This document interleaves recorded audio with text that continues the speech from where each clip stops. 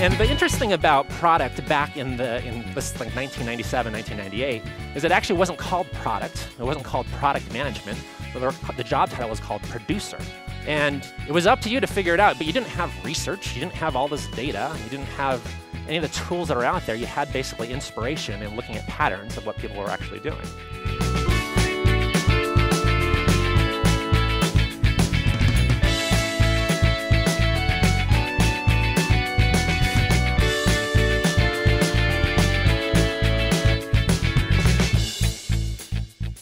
People looking at incredible sights of nature, people looking at incredible architecture.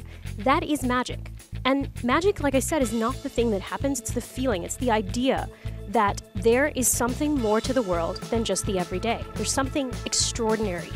And it's that type of magic that we want to be able to create in our products. We want to recreate this feeling of magic. And especially with marketplaces that connect services and people, you have the opportunity to be able to bring magic to the forefront again and again.